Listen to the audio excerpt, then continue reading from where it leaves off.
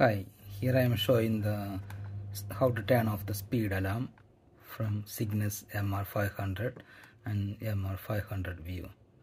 Okay, so it's all this is the high for higher mode at this position.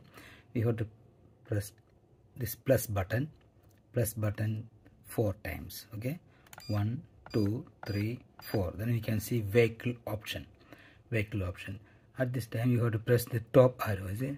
This arrow left hand. This arrow press once. After that press plus three times. One two three. Then you can see speed alarm.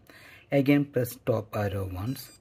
Then we can see AI 70 so at this position if the vehicle move it may make sound beeping sound.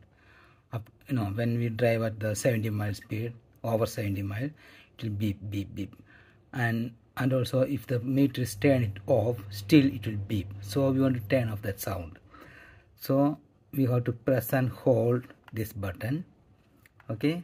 Then press this one again. Then you can see alarm AL off. Okay?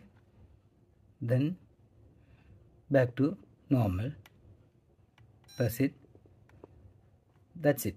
So we can check it again press plus 4 times 1 2 3 4 vehicle option press top arrow once then plus 3 times 1 2 3 speed alarm then check it top once you see hold it alarm off. So if you want to turn it on press and hold then press this one this arrow. Okay? Then it will come back again and press and hold and know the top arrow press and hold then press this arrow again it will be off. That's it.